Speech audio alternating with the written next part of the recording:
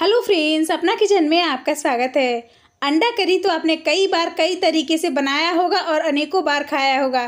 पर फ्रेंड्स, आज मैं आपके लिए एकदम नया, अलग और बहुत ही आसान तरीका लेकर आई हूँ, जो आपको और आपके फैमिली को बहुत ही पसंद आएगा। तो चलिए शुरू करते हैं। तो देखिए फ्रेंड्स, इसके लिए मैं यहाँ पे पाँच उबले अंडे, चार मीडियम साइज़ का प्याज और दो मीडियम साइज़ का टमाटर ली हूँ। प्याज का मैं पीछे वाला पार्ट जो होता है ना, सफ़ेद वाला, उसको कट करके हटा दी हूँ और एक प्याज में दो भाग कर ली हूँ।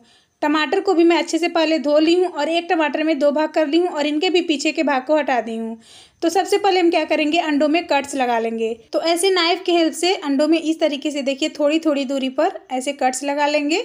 ऐसा करने से अंडों में मसाले अच्छे से अंदर तक चले भी जाते हैं और जब हम इनको फ्राई करेंगे तो अंडे फटेंगे भी नहीं। तो इसी तरीके से सभी अंडों में मैं कट्स लगा ली हूँ। तो मैं यहाँ पे पाँच अंडों का इस्तेमाल कर रही हूँ, लेकिन आप अपनी ज़रूरत के हिसाब से अंडे कम या ज़्यादा कर सकते हैं जितना आपको ज़रूरत हो। अब चूल्हे पर चढ़ा देंगे कढ़ाई, गैस ऑन करके इसमें डालेंगे दो बड़ा चम्मच तेल।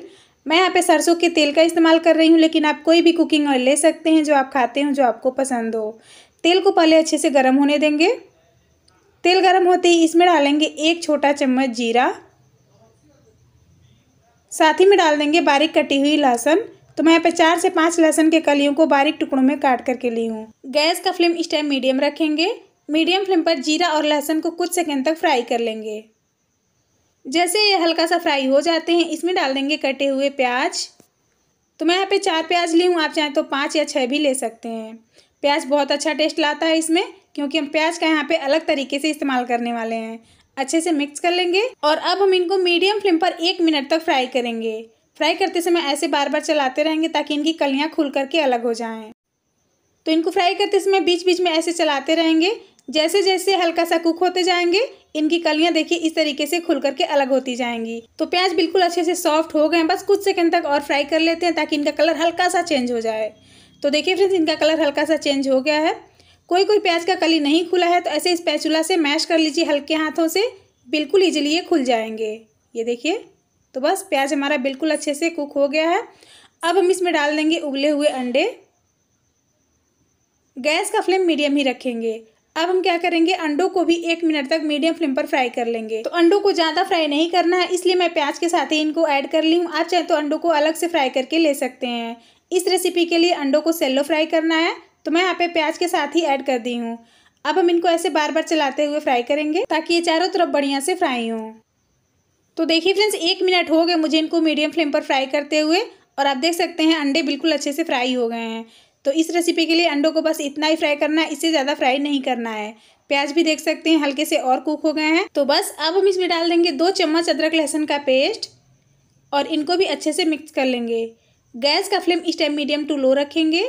मीडियम टू लो फ्लेम पर अदरक लहसुन के पेस्ट को दो मिनट तक भून लेंगे, ताकि जो इनका कच्चापन है ना, वो निकल जाए। भूनते समय बार बार चलाते रहेंगे, जिससे कि नीचे तले में चिपके नहीं।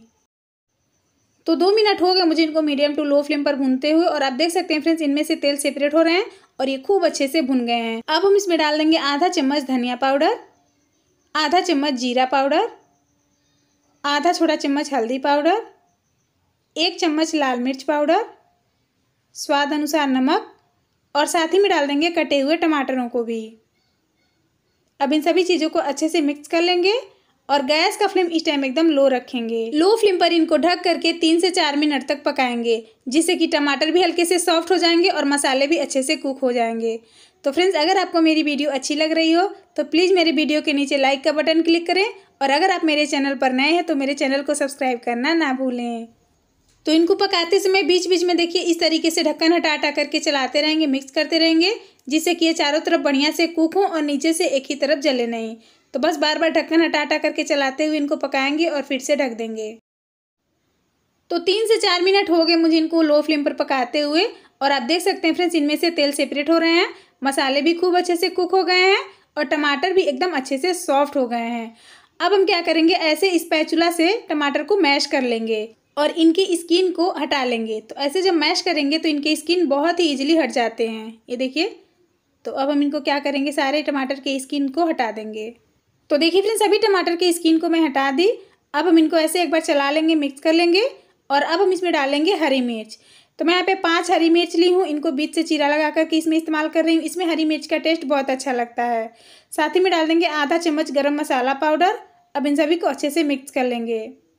गैस का फ्लेम इस टाइम लो ही रखेंगे। अब हम इसमें डालेंगे हल्की सी ग्रेवी के लिए आधा कप पानी।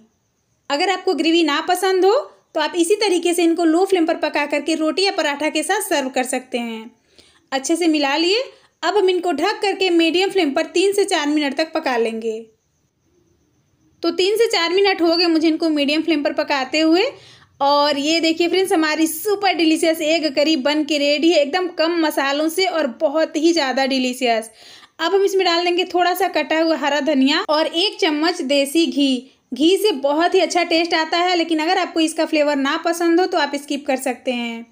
अब हम क्या करेंगे, गैस का फ्लेम बंद कर देंगे और ढक करके इनको ऐसे ही दो से तीन मिनट तक छोड़ देंगे, ताकि हरा धनिया का और घी का दोनों का फ्लेवर इसमें अच्छे से चला जाए।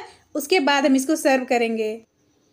तो ये लीजिए फ्रेंड्स तैयार है हमारा super tasty super delicious egg curry एकदम नए तरीके से, नए टेस्ट में। देखने में लग रहा है ना, बहुत ही टेम्पटिंग यकीन मानिए फ्रेंड्स, खाने में ये सुपर डिलीशियस लगता है। तो फ्रेंड्स, इस तरीके से एग करी ज़रूर बना करके देखिएगा। जिनको भी इस तरीके से बनाकर खिला देंगे ना, सब लोग तारीफ़ करते, नहीं थकेंगे और उंगलियाँ चाट चाट करके खाएँगे। तो रेसिपी को ट्राई करें, पसंद आए तो लाइक शेयर और सब्सक्राइब करना ना भूलें।